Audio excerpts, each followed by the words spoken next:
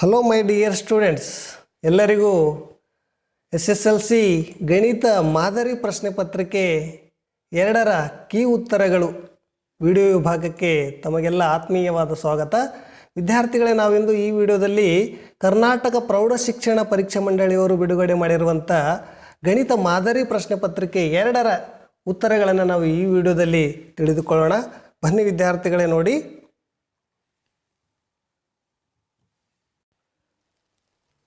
ನೋಡಿ, ಮೊದಲನೇ ಪ್ರಶ್ನೆ ಇದೆ ಇಲ್ಲಿ. ಈ ಪ್ರತಿಯೊಂದು ಪ್ರಶ್ನೆಗಳಿಗೆ ಅಥವಾ ಅಪೂರ್ಣ ಹೇಳಿಕೆಗಳಿಗೆ ನಾಲ್ಕು ಆಯ್ಕೆಗಳನ್ನು ನೀಡಲಾಗಿದೆ. ಅವುಗಳಲ್ಲಿ ಸೂಕ್ತವಾದ ಉತ್ತರವನ್ನು ಆರಿಸಿ ಕ್ರಮಾಕ್ಷರದೊಂದಿಗೆ ಬರೆಯಿರಿ ಅಂತ ಹೇಳಿದ್ದಾರೆ. ಎಂಟು ಪ್ರಶ್ನೆಗಳು, ಒಂದು ಅಂಕಕ್ಕೆ ಒಟ್ಟು ಎಂಟು ಅಂಕ ಇದೆ. ಅಂದರೆ ಅಬ್ಜೆಕ್ಟಿವ್ ಕ್ವಶನ್ಸ್ ಇದೆ ಇದು. ನಿಮ್ಗೆ ಗೊತ್ತಿರೋ ಹಾಗೆ ಇದೆಯಲ್ಲ ಒಂದನೇ ಕ್ವಶನ್ ನೋಡಿ a one x plus b one y plus c one equal to ಸೊನ್ನೆ ಮತ್ತು a two x plus b two y plus c two equal to ಸೊನ್ನೆ. ರೇಖೆಗಳ ಜೋಡಿಗಳು ಛೇದಿಸುವ ರೇಖೆಗಳಾದಾಗ ಅವುಗಳ ಸಹಗುಣಕಗಳ ಅನುಪಾತದ ಹೋಲಿಕೆಯು. ಇಲ್ಲಿ ಎ ಬಿ ಸಿ ಡಿ ನಾಲ್ಕು ಆನ್ಸರ್ಗಳು ಕೊಟ್ಟಿದ್ದಾರೆ. ಎರಡು ರೇಖೆಗಳು ಛೇದಿಸಿದರೆ ಅವುಗಳ ಅನುಪಾತ ಏನಿದೆ? A one ಬಾಗಿಸು a two not equal to b one ಬಾಗಿಸು B two ಆಗುತ್ತೆ. ಅಂದರೆ ಅದರ ಆನ್ಸರ್ ಏನಿದೆ? ಎ ಆನ್ಸರ್ ಆಗುತ್ತೆ ಕರೆಕ್ಟಾಗಿ A one ಬಾಗಿಸು a two is not equal to b one ಬಾಗಿಸು B two ಅಂತ. ಎರಡನೇ ಪ್ರಶ್ನೆ ನೋಡಿ. ಟೂ ಕಾಮ ಎಕ್ಸ್ ಕಾಮ ಫೋರ್ಟೀನ್ ಸಮಾಂತರ ಶ್ರೇಣಿಯಲ್ಲಿದ್ದಾಗ ಎಕ್ಸ್ನ ಬೆಲೆಯು ಅಂತ ಕೇಳಿದ್ದಾರೆ. ಈ ರೀತಿ ಕೇಳಿದಾಗ ಇಲ್ಲಿ ಎ ಆನ್ಸರ್ ನೋಡಿ ಟ್ವೆಂಟಿ ಏಯ್ಟು ಬಿ ಹದಿನಾರು ಸಿ ಏಳು ಡಿ ಎಂಟಿದೆ ಇದನ್ನು ನಮಗೆ ಆನ್ಸರ್ ಎಷ್ಟಾಗುತ್ತೆ? ಡಿ ಎಂಟು. ಇದನ್ನು ಹೇಗೆ ಬಿಡಿಸಬೇಕು ಅಂತ ಇಲ್ಲಿ ನಾನು ನೋಡಿ ಬರೆದಿದ್ದೀನಿ. ಇಲ್ಲಿ ಮೊದಲ ಪದ ಮತ್ತು ಕೊನೆಯ ಪದನ ಎ ಪ್ಲಸ್ ಬಿ ಅಂತ ತಿಳಿದುಕೊಂಡು ಭಾಗಿಸು ಎರಡು ಮಾಡಬೇಕು ಇದಕ್ಕೆ.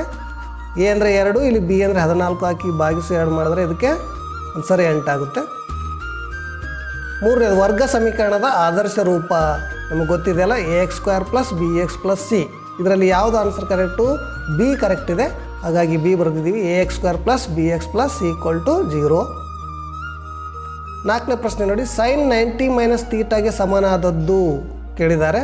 ಸೈನ್ ನೈಂಟಿ ಮೈನಸ್ ತೀಟಾಗೆ ಸಮನಾದದ್ದು ಯಾವುದು? ಕಾಸ್ ತೀಟ ಅಂದರೆ A answer correct A cos theta ಐದನೇ ಪ್ರಶ್ನೆ ನೋಡಿ ಟ್ಯಾನ್ ಫಾರ್ಟಿ ಫೈರ ಬೆಲೆಯು ಅಂತ ಕೇಳಿದ್ದಾರೆ. ಟ್ಯಾನ್ ನಲವತ್ತೈದು ಡಿಗ್ರಿಯ ಬೆಲೆ ಎಷ್ಟು ಒಂದು. ಹಾಗಾಗಿ ಸಿ ಆನ್ಸರ್ ಕರೆಕ್ಟು ಆರನೇ ಕ್ವಶನ್ ನೋಡಿ. ನೀಡಿರುವ ನಕ್ಷೆಯಲ್ಲಿ ಎ ಬಿಂದುವಿನ ನಿರ್ದೇಶಾಂಕವು ಅಂತ ಕೇಳಿದ್ದಾರೆ. ನಕ್ಷೆ ಕೊಟ್ಟಿದ್ದಾರೆ. ಇಲ್ಲಿ ಎ ಬಿಂದುವನ್ನು ಈ ರೀತಿ ಗುರುತಿಸಿದ್ದಾರೆ ಇಲ್ಲಿ. ಈ ಎ ಬಿಂದು ನಿರ್ದೇಶಾಂಕ ಯಾವುದು? ಇಲ್ಲಿ ಒಂದು, ಎರಡು ಅಂದರೆ ಎಕ್ಸ್ ಅಕ್ಷದಲ್ಲಿ ಎರಡಿದೆ ವಾಯ್ ಅಕ್ಷದಲ್ಲಿ ಸೊನ್ನೆ. ಹಾಗಾಗಿ ಸಿ ಯಾವುದು? ಡಿ ಆನ್ಸರ್ ಕರೆಕ್ಟು ಟೂ, ಕಾಮ, ಸೊನ್ನೆ. ಏಳನೇ ಪ್ರಶ್ನೆ ನೋಡಿ, ಕೇಂದ್ರೀಯ ಪ್ರವೃತ್ತಿಗಳ ಮೂರು ಅಳತೆಗಳ ನಡುವಿನ ಪ್ರಾಯೋಗಿಕ ಸಂಬಂಧವು ಅಂತ ಇಲ್ಲಿ ನಾಲ್ಕು ಆನ್ಸರ್ ಇದೆ. ಇದರಲ್ಲಿ ಬಿ ಕರೆಕ್ಟ್ ಇದೆ. ಮೂರು ಮಾಧ್ಯಾಂಕ ಇಕ್ವಲ್ ಟು ಬಹುಲಕ ಪ್ಲಸ್ ಎರಡು ಸರಾಸರಿ.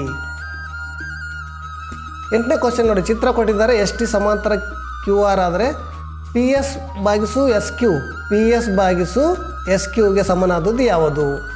ತೇಲ್ಸನ ಪ್ರಮೇಯದ ಪ್ರಕಾರ ಏನಾಗುತ್ತೆ? P S by S Q ಆಗಿ equal to P T by T R ಆಗುತ್ತೆ. P T by T R ಯಾವುದು? ಮೊದಲನೇ ಪ್ರಶ್ನೆ ಇದೆ ನೋಡಿ. P T by T R ಅಂದರೆ ಮೊದಲನೇ ಕ್ವಶನ್ ಎಗೆ P T by T R ಇದು ಸರಿಯಾದ ಉತ್ತರ. ಈಗ ಒಂದು ಅಂಕದಲ್ಲೇ ನೋಡಿ, ಇಲ್ಲಿ ಈ ಕೆಳಗಿನ ಪ್ರಶ್ನೆಗಳಿಗೆ ಉತ್ತರಿಸಿ ಅಂತ ಈಗ ಅಬ್ಜೆಕ್ಟಿವ್ ಆಯಿತು. ಈಗ ಒಂದು ಅಂಕಕ್ಕೆ ಬಿಡಿಸುವಂಥದ್ದು ಎಂಟು ಪ್ರಶ್ನೆಗಳಿರ್ತವೆ. ಅದಕ್ಕೂ ಎಂಟು ಅಂಕಗಳು. ಇವುಗಳನ್ನು ನೀವು ಬಿಡಿಸ್ಬೇಕಿಲ್ಲಿ. ಒಂಬತ್ತನೇ ಕ್ವಶನ್ ನೋಡಿ. X plus y equal to seven ಸಮೀಕರಣದಲ್ಲಿ ಎಕ್ಸ್ ಇಕ್ವಲ್ ಟು ಆದಾಗ ವಾಯಿನ ಬೆಲೆಯನ್ನು ಕಂಡು ಹಿಡಿಯಿರಿ ಅಂತ ಪ್ರಶ್ನೆ. ಇದಕ್ಕೆ ಉತ್ತರವನ್ನು ಹೇಗೆ ಬಿಡಿಸ್ತೀರ ನೋಡಿ. ಕೊಟ್ಟಿದ್ದಾರೆ x plus y equal to seven ಅಂತ ಬರೆದುಕೊಳ್ಳಿ. ಇಲ್ಲಿ ಎಕ್ಸ್ನ ಬೆಲೆ ಕೊಟ್ಟಿದ್ದಾರೆ ಆಲ್ರೆಡಿ ಅವರು ಎಕ್ಸ್ ಇಕ್ವಲ್ ಟು ಮೂರು, ತುಂಬಿ ಅದನ್ನು ವಾಯ್ ಇಕ್ವಲ್ ಟು ಸೆವೆನ್ ಬರ್ಕೊಡ್ರಿ. ವಾಯ್ ಬೆಲೆ ಕಂಡುಹಿಡಬೇಕಾಗಿದೆ ಅಲ್ವಾ? ಹಾಗಾಗಿ ಮೂರನ್ನು ಬಲಭಾಗ ತೆಗೆದುಕೊಂಡು ಬಂದರೆ ಚಿಹ್ನೆ ಬದಲಾಗುತ್ತೆ. Seven minus three seven minus three ಮಾಡಿದ್ರೆ ಎಷ್ಟಾಯಿತು? ಫೋರ್ ಅಂದರೆ ವಾಯಿನ ಬೆಲೆಯಲ್ಲಿ ಫೋರ್ ಆಗುತ್ತೆ. ಇನ್ನೊಂದು ಚಿತ್ರ ಕೊಟ್ಟಿದ್ದಾನೆ ಕೊಟ್ಟಿರುವ ಚಿತ್ರದಲ್ಲಿ ಪಿ ಬಿಂದುವು ಬಿ ಸಿನ ಮಧ್ಯ ಬಿಂದು. ಆದರೆ ಪಿಯ ನಿರ್ದೇಶಾಂಕವನ್ನು ಕಂಡುಹಿಡಿಯುವ ಸೂತ್ರವನ್ನು ಬರೆಯಿರಿ. ಇದರ ಸೂತ್ರ ಬರೀಬೇಕು. ಇಲ್ಲಿ, ಆ ಸೂತ್ರ ಕಂಡುಹಿಡಿಯುವಂಥ ಇದು ಇದೆಯಲ್ಲ ನಮಗೆ? ಯಾವುದು? ಯಾವುದು ಮಧ್ಯಬಿಂದು ಸೂತ್ರ. X one plus x two by two y one plus y two by two ಅಂತ ಆ ಸೂತ್ರ ಬರೆಯೋಣ. ಹನ್ನೊಂದೇ ಕ್ವಶನ್ ನೋಡಿ. ಒಂದು ವೃತ್ತದ ಸ್ಪರ್ಶಕಕ್ಕೆ ವೃತ್ತ ಕೇಂದ್ರದಿಂದ ಸ್ಪರ್ಶ ಬಿಂದುವಿಗೆ ಎಳೆದ ತ್ರಿಜ್ಯವು ಉಂಟು ಮಾಡುವ ಕೋನದ ಅಳತೆಯನ್ನು ಬರೆಯಿರಿ ಅಂತ ಹೇಳಿದ್ದಾರೆ. ಕೇಂದ್ರದಿಂದ ಸ್ಪರ್ಶ ಬಿಂದುವಿಗೆ ಎಳೆದಂಥ ತ್ರಿಜ್ಯ ಏನಾಗಿರ್ತದೆ? ಲಂಬ ಕೋನವನ್ನು ಉಂಟು ಮಾಡ್ತದೆ. ಹಾಗೆ ಅದರ ಕೋನದ ಅಳತೆ ಎಷ್ಟು? ತೊಂಬತ್ತು ಡಿಗ್ರಿ ಅಂತ ಬರೆಯೋಣ. ಹನ್ನೆರಡನೇ ಕ್ವಶನ್ ನೋಡಿ. ನೇರ ಸಿಲಿಂಡರ್ನ ಪೂರ್ಣ ಮೇಲ್ಮೈ ವಿಸ್ತೀರ್ಣವನ್ನು ಕಂಡುಹಿಡಿಯುವ ಸೂತ್ರವನ್ನು ಬರೆಯಿರಿ ಅಂತ ಕೇಳಿದ್ದಾರೆ. ಸಿಲಿಂಡರ್ನ ಪೂರ್ಣ ಮೇಲ್ಮೈ ವಿಸ್ತೀರ್ಣ ಸೂತ್ರ ಇದೆ. Two pi r into r plus h. ಹದಿಮೂರು, ಘನಗೋಳದ ಗಾತ್ರವನ್ನು ಕಂಡುಹಿಡಿಯುವ ಸೂತ್ರವನ್ನು ಬರೆಯಿರಿ. ಇಲ್ಲಿ ಸೂತ್ರಗಳೇ ಕೇಳಿದ್ದಾರೆ ಹೆಚ್ಚಿಗೆ ನೋಡಿ. ಆ ಗೋಳದ ಗಾತ್ರ ಅಥವಾ ಘನಫಲ ಅಂತ ಹೇಳ್ತೀವಿ ನಾವು. ಅದರ ಸೂತ್ರ four by three pi r cube ಇದೆ. ಹಾಗೆ ಹದಿನಾಲ್ಕು ಕ್ವಶನ್ ನೋಡಿ. ಶಂಕುವಿನ ಓರೆ ಎತ್ತರ ಎಲ್ ಎತ್ತರ ಎಚ್ ಮತ್ತು ತ್ರಿಜ್ಯ ಆರ್ ನಡುವಿನ ಗಣತೀಯ ಸಂಬಂಧವನ್ನು ಬರೆಯಿರಿ ಅಂತ ಹೇಳಿದ್ದಾರೆ. ಅದನ್ನು ಈಗ ಬರಿಬೋದು. L square equal to h square plus r square ಅಂತ ಹದಿನೈದನೇ ಕ್ವಶನ್ ನೋಡಿ, ಒಂದು ಸಮಾಂತರ ಶ್ರೇಣಿಯಲ್ಲಿ n equal to three n minus two ಆದಾಗ ಆ ಶ್ರೇಣಿಯ ಎರಡನೇ ಪದವನ್ನು ಕಂಡುಹಿಡಿಯಿರಿ ಅಂತ. ಇಲ್ಲಿ ಆಲ್ರೆಡಿ ಏನು ಪದ ಕೊಟ್ಟಿದ್ದಾರೆ ತ್ರೀ ಎನ್ ಮೈನಸ್ ಟು ಅಂತ. ನೀವು ಎಷ್ಟನೇ ಪದ ಕಂಡುಹಿಡಿಬೇಕು? ಎರಡನೇ ಪದ ಕಂಡುಹಿಡಿಬೇಕು. ಹಾಗಾಗಿ ಎನ್ ಇದ್ದಲ್ಲಿ ಎರಡನ್ನು ತುಂಬಿ, ಇಲ್ಲಿ ಎ ಎನ್ ಇದ್ದಲ್ಲಿ ಎರಡು equal to three into n ಇದ್ದಲ್ಲಿ ಎರಡು ಮೈನಸ್ ಎರಡನ್ನು ಹಾಗೆ ಬರೀರಿ. ತ್ರೀ ಇಂಟು ಟೂ ಮಾಡಿದ್ರೆ ಎಷ್ಟು? ಸಿಕ್ಸ್ ಆಗುತ್ತೆ. ಇದು ಮೈನಸ್ ಟು ಸಿಕ್ಸ್ನಲ್ಲಿ ಮೈನಸ್ ಟು ಮಾಡಿ ಎಷ್ಟು? ಫೋರ್ ಆಗುತ್ತೆ. ಅಂದರೆ ಎರಡನೇ ಪದ ನಾಲ್ಕು. ಈಗ ಹದಿನಾರನೇ ಕ್ವಶನ್ ನೋಡಿ. ಕಾಟ್ ಹದಿನೈದು ಕಾಟೆ ಕೊಟ್ಟು ಎಂಟು ಆದಾಗ ಟ್ಯಾನ್ ಏನ ಬೆಲೆಯನ್ನು ಕಂಡುಹಿಡಿಯಿರಿ ಅಂತ ಹೇಳಿದ್ದಾರೆ. ಹದಿನೈದು ಕಾಟೆ ಕೊಟ್ಟು ಎಂಟು ಕೊಟ್ಟಿದ್ದಾರಲ್ಲ, ಇದನ್ನು ನಾವು ಕಾಟೆಗೆ ಸಮ ಮಾಡಿಕೊಂಡ್ರೆ ಏನಾಗುತ್ತೆ ಇದು? ಎಂಟು ಬಾಗಿಸು ಹದಿನೈದು ಆಗುತ್ತೆ. ಈ ಕಾಟ್ನ ವಿಲೋಮ ಯಾವುದು? ಟ್ಯಾನ್ ಟ್ಯಾನ್ ಟ್ಯಾನ್ ಆಗುತ್ತಲ್ಲ, ಹಾಗಾಗಿ ಎಂಟು ಬಾಗಿಸು ಹದಿನೈದು ಇದ್ದಿದ್ದನ್ನು ಹದಿನೈದು ಬಾಗಿಸು ಎಂಟು ಅಂತ ಬರ್ಕೊಳ್ಳಿ. ಇಷ್ಟು ಟ್ಯಾನ್ನ ಬೆಲೆ ಆಗುತ್ತೆ. ಇಲ್ಲಿವರೆಗೆ ಒಂದು ಅಂಕದ ಪ್ರಶ್ನೆಗಳಿಗೆ ಉತ್ತರಗಳನ್ನು ನೋಡಿದ್ದೀವಲ್ಲ ವಿದ್ಯಾರ್ಥಿಗಳೇ. ನಾವೀಗ ಎರಡು ಅಂಕದ ಪ್ರಶ್ನೆಗಳಿಗೆ ಉತ್ತರಗಳನ್ನು ನೋಡೋಣ. ಈ ಕೆಳಗಿನ ಪ್ರಶ್ನೆಗಳನ್ನು ಉತ್ತರಿಸಿ ಅಂತಿದೆ. ಇಲ್ಲಿ ಎಂಟು ಪ್ರಶ್ನೆಗಳಿರ್ತವೆ. ಒಟ್ಟು ಎರಡು ಅಂಕಕ್ಕೆ ಎರಡು ಅಂಕಕ್ಕೆ ಹದಿನಾರು ಅಂಕಗಳು ಒಟ್ಟು. ಮೊದಲನೇದಾಗಿ ನೋಡಿ, ಹದಿನೇಳನೇ ಕ್ವಶನ್ ಇದೆ. ವರ್ಜಿಸುವ ವಿಧಾನದಿಂದ ಈ ವರ್ಷದ ಒಂದು ಪರೀಕ್ಷೆಯಲ್ಲಿ ನಮಗೆ ವರ್ಜಿಸುವ ವಿಧಾನ ಮಾತ್ರ ಕೇಳ್ತಾರೆ ವಿದ್ಯಾರ್ಥಿಗಳೇ. ಇದೇ ಒಂದು ವಿಧಾನವನ್ನು ನೀವು ಹೆಚ್ಚಿಗೆ ಪ್ರಾಕ್ಟೀಸ್ ಮಾಡಿ ಎರಡು ಅಂಕ ಸುಲಭವಾಗಿ ಇದನ್ನು ಇದರಿಂದ ಪಡಿಬೋದು ನೀವು. ಕ್ವಶನ್ ಇದೆ ನೋಡಿ x plus y equal to ಎಂಟು ಎರಡು x minus y equal to ಏಳು ಇದೆ. ಈ ಸಮೀಕರಣ ಒಂದು ಅಂತ ಬರ್ಕೊಳ್ಳೋಣ, ಇನ್ನೊಂದು ಸಮೀಕರಣ ಎರಡು ಅಂತ ಬರ್ಕೊಂಡು. ಸಮೀಕರಣ ಒಂದು ಮತ್ತು ಎರಡರಿಂದ ಬಿಡಿಸ್, ಈ ರೀತಿ ಬಿಡಿಸ್ಕೊಂಡ್ರೆ ಏನಾಗುತ್ತೆ ನೋಡಿ ವಾಯ್ ವಾಯ್ ಕ್ಯಾನ್ಸಲ್ ಆಯಿತು. ಎರಡು ಎಕ್ಸ್ ಒಂದು ಎಕ್ಸ್ ಕೂಡಿ ಮೂರು ಎಕ್ಸ್ ಆಯಿತು ಈಕ್ವಲ್ ಟು ಏಳು ಮತ್ತು ಎಂಟನ್ನು ಕೂಡಿದ್ರೆ ಹದಿನೈದು ಆಯಿತು. ಈಗ ನಾವು ಎಕ್ಸ್ನ ಬೆಲೆ ಕಂಡುಹಿಡಬೇಕಾಗಿದೆ ಹಾಗಾಗಿ ಮೂರನ್ನು ಬಲವಾಗಿ ತೆಗೆದುಕೊಂಡು ಬಂದರೆ ಭಾಗಿಸುವಾಗುತ್ತೆ ಹದಿನೈದಕ್ಕೆ ಮೂರರಿಂದ ಭಾಗಿಸಿ ಎಷ್ಟು? ಎಕ್ಸ್ನ ಬೆಲೆ ಐದಾಯಿತು ಈಗ ಎಕ್ಸ್ನ ಬೆಲೆ ಏನು ಮಾಡೋಣ? ನಾವು ಸಮೀಕರಣ ಒಂದರಲ್ಲಿ ಆದೇಶಿಸಿದಾಗ ಸಮೀಕರಣ ಒಂದು ಯಾವುದು? X plus y equal to ಎಂಟಿದೆ ಐದರಲ್ಲಿ ನಾವು ಎಕ್ಸ್ನ ಬೆಲೆಯನ್ನು ಆದೇಶ ಮಾಡೋಣ. ತುಂಬೋಣ. ಎಕ್ಸ್ ಇದ್ದಲ್ಲಿ ಐದು ಪ್ಲಸ್ ವೈ ಈಕ್ವಲ್ ಟು ಎಂಟು ವೈ ಈಕ್ವಲ್ ಟು ಎಷ್ಟಾಗುತ್ತೆ? ಇದು ಪ್ಲಸ್ ಐದನ್ನು ಬಲಭಾಗಕ್ಕೆ ತೆಗೆದುಕೊಂಡು ಬಂದರೆ ಮೈನಸ್ ಐದು. ಎಂಟರಲ್ಲಿ ಐದನ್ನು ಕಳೀರಿ ಮೂರು ಅಂದರೆ ಎಕ್ಸ್ ಈಕ್ವಲ್ ಟು ಐದು ಮತ್ತು ವೈ ಈಕ್ವಲ್ ಟು ಮೂರು. ಈ ರೀತಿ ಸಮೀಕರಣವನ್ನು ನಾವು ಬಿಡಿಸ್ಬೋದು. ಈಗ ಹದಿನೆಂಟನೇ ಕ್ವಶನ್ ನೋಡಿ. ಎರಡು ಕಾಮ ಏಳು ಕಾಮ ಹನ್ನೆರಡು ಸಮಾಂತರ ಶ್ರೇಣಿಯ ಹತ್ತನೇ ಪದವನ್ನು ಸೂತ್ರವನ್ನು ಉಪಯೋಗಿಸಿ ಕಂಡುಹಿಡಿಯಿರಿ ಅಂತ ಸಮಾಂತರ ಶ್ರೇಣಿಯಲ್ಲಿ ಕೇಳುವ ಪ್ರತಿ ಪ್ರಶ್ನೆಯು ಭಾಳ ಸುಲಭವಾಗಿರುತ್ತೆ ವಿದ್ಯಾರ್ಥಿಗಳೇ, ನೀವು ಸುಲಭವಾಗಿ ಬಿಡಿಸ್ಬೋದು ಇಲ್ಲಿ. ಎರಡು, ಏಳು, ಹನ್ನೆರಡು ಕೊಟ್ಟಿದ್ದಾರೆ ಶ್ರೇಣಿ. ಇದಕ್ಕೆ ನೀವು ಬೆಲೆಯನ್ನು ಬರ್ಕೊಳ್ಳೋಣ. ನಾವು ಎ ಬೆಲೆ ಎಷ್ಟು, ಮೊದಲನೇ ಪದ ಎರಡು, ಡಿ ಬೆಲೆ, ಅಂದರೆ ಸಾಮಾನ್ಯ ವ್ಯತ್ಯಾಸ ಕಂಡುಹಿಡಿಬೇಕು. A two minus seven seven minus two ಮಾಡಿರಿ, ಫೈವ್ ಆಯಿತು. ಏನು ಬೆಲೆ ಕೊಟ್ಟಿದ್ದಾರೆ ಅವರು ಎಷ್ಟು, ಹತ್ತು ಪದ ಅಂತ ಹೇಳಿದ್ದಾರೆ. ಸೂತ್ರ ಉಪಯೋಗಿಸಿ ಕಂಡುಹಿಡಿಯುವ ಸಲುವಾಗಿ ನಾವು ಸೂತ್ರವನ್ನು ಬಳಸಬೇಕು. N equal to a plus n minus one into d ಅಂತ. ಇಲ್ಲಿ ಎನ್ ಇದ್ದಲ್ಲಿ ಹತ್ತನ್ನು ಆದೇಶ ಮಾಡಿರಿ. ಎ ಬೆಲೆ ಎಷ್ಟು? ಎರಡು ಪ್ಲಸ್ ಎನ್ ಇದ್ದಲ್ಲಿ ಹತ್ತು ಮೈನಸ್ ಒಂದು ಇಂಟು ಡಿ ಬೆಲೆ ಕಂಡುಹಿಡಿದೀವಿ, ಐದು. ಇದನ್ನು ಆದೇಶ ಮಾಡಿ ಸಂಕ್ಷಿಪ್ತಗೊಳಿಸ್ತಾ ಹೋಗ್ರಿ ಈಗ. ಹತ್ತರಲ್ಲಿ ಒಂದನ್ನು ಕಳೀರಿ ಒಂಬತ್ತು ಇಂಟು ಐದು. ಎರಡನ್ನು ಹಾಗೆ ಬರೀ ಒಂಬತ್ತು ಮತ್ತು ಐದನ್ನು ಗುಣಿಸಿ ಎಷ್ಟಾಯಿತು? ನಲವತ್ತೈದು. ನಲವತ್ತೈದು ಎರಡನ್ನು ಕೂಡಿಸಿ ಎಷ್ಟು? ನಲವತ್ತೇಳು. ಅಂದರೆ ಹತ್ತನೇ ಪದ ನಲವತ್ತೇಳು. ನೆಕ್ಸ್ಟ್ ಕ್ವಶನ್ ನೋಡಿ. ಎರಡು ಪ್ಲಸ್ ಐದು ಪ್ಲಸ್ ಎಂಟು ಪ್ಲಸ್ ಇಪ್ಪತ್ತರ ಪದಗಳವರೆಗಿನ ಮೊತ್ತವನ್ನು ಸೂತ್ರ ಉಪಯೋಗಿಸಿ ಕಂಡುಹಿಡಿಯಿರಿ ಅಂತ. ಇಲ್ಲಿ ಪದಗಳ ಮೊತ್ತ ಕಂಡುಹಿಡಿಬೇಕು ನಾವು. ಮೊತ್ತದ ಸೂತ್ರ ಉಪಯೋಗಿಸೋಣ. ಇಲ್ಲಿ ಎರಡು ಪ್ಲಸ್ ಐದು ಪ್ಲಸ್ ಎಂಟು, ಮೊದಲೇ ಪದ ಎ ಎಷ್ಟು? ಎರಡು. ಡಿ ಸಾಮಾನ್ಯ ವ್ಯತ್ಯಾಸ ಕಂಡುಹಿಡಿದಿದ್ದೀವಿ ಮೂರು. ಎನ್ ಪದಗಳ ಕೊಟ್ಟಿದ್ದಾರೆ, ಇಪ್ಪತ್ತು. ನಾವು ಮೊತ್ತ ಕಂಡುಹಿಡಿಯುವ ಸೂತ್ರವನ್ನು ಬರೆದುಕೊಳ್ಬೇಕು ಇಲ್ಲೀಗ. S n equal to n by n ಬಾಗಿಸು ಎರಡು. Two a plus bracket n minus one into d ಈ ಸೂತ್ರವನ್ನು ಬರೆದುಕೊಂಡು ಈ ಸೂತ್ರದಲ್ಲಿ ಎಲ್ಲ ಬೆಲೆಗಳನ್ನು ನಾವೀಗ ಆದೇಶ ಮಾಡೋಣ. ಎನ್ನ ಬೆಲೆ ಎಷ್ಟು? ಇಪ್ಪತ್ತು. ಎನ್ನ ಬೆಲೆ ಇಪ್ಪತ್ತು ಬಾಗಿಸು ಎರಡು ಎರಡು ಹಾಗೆ ಬರೀರಿ. ಇಂಟು ಎ ಬೆಲೆ ಎಷ್ಟು? ಎರಡು ಪ್ಲಸ್ ಎನ್ನ ಬೆಲೆ ಇಪ್ಪತ್ತು ಮೈನಸ್ ಒಂದು ಇಂಟು ಡಿ ಬೆಲೆ ಎಷ್ಟು? ಮೂರನ್ನು ಆದೇಶ ಮಾಡಿವಿ. ಆದೇಶ ಮಾಡಿದ್ದನ್ನು ಇದೀಗ ಸಂಕ್ಷಿಪ್ತಗೊಳಿಸಿರಿ ಇದನ್ನು ಸರಳೀಕರಣ ಮಾಡೋಣ.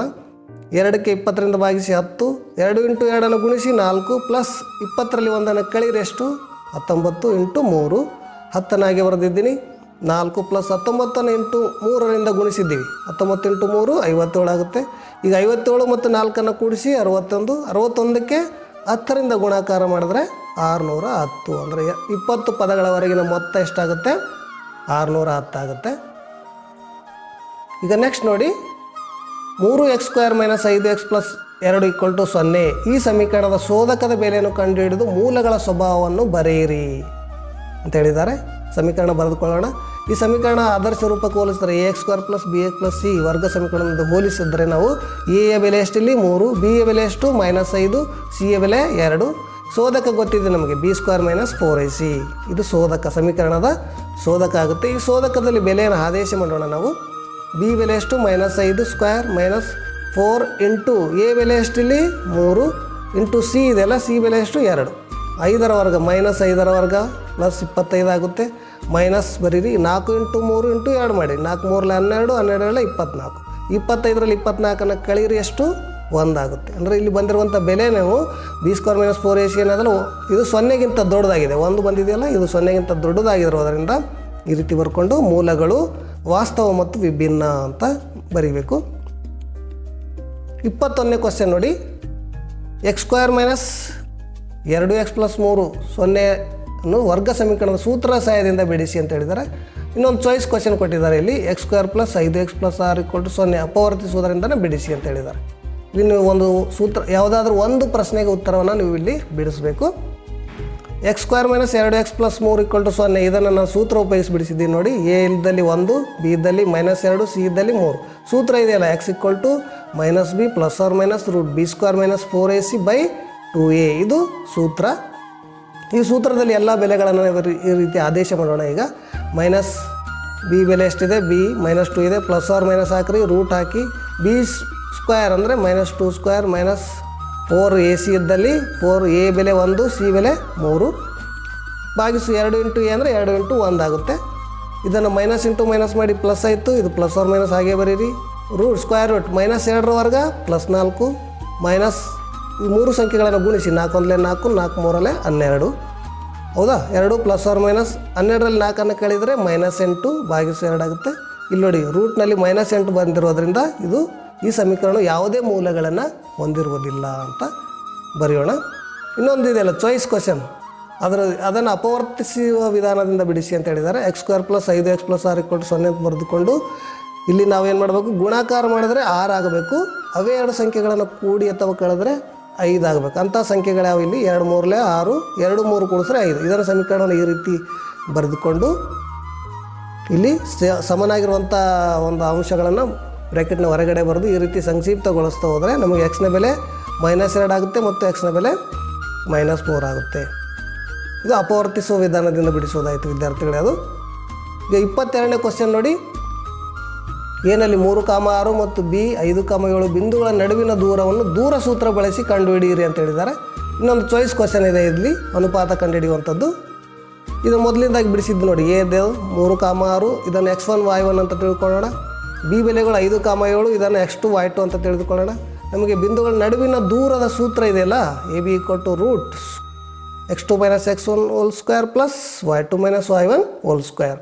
ಈ ಬೆಲೆಗಳನ್ನು ಆದೇಶಿ. ಎಕ್ಸ್ ಟು ಬೆಲೆ ಐದು ಮೈನಸ್ ಎಕ್ಸ್ ಒನ್ ಬೆಲೆ ಮೂರು ಸ್ಕ್ವೇರ್ ಬರೀರಿ ವೈ. ಟು ಬೆಲೆ ಏಳು ಮೈನಸ್ ವೈ ಒನ್ ಬೆಲೆ ಆರು. ಇದನ್ನು ಬಿಡಿಸಿದರೆ ನೋಡಿ, ಐದರಲ್ಲಿ ಮೂರು ಹೋದರೆ ಎರಡು, ಏಳರಲ್ಲಿ ಆರು ಹೋದರೆ ಒಂದು ಎರಡರ ವರ್ಗ ನಾಲ್ಕು ಒಂದರ ವರ್ಗ ಒಂದು. ಎರಡು ಕೂಡಿ ರೂಟ್ ಐದು ಆಗುತ್ತೆ. ಅಂದರೆ ರೂಟ್ ಐದು ಮಾನಗಳು.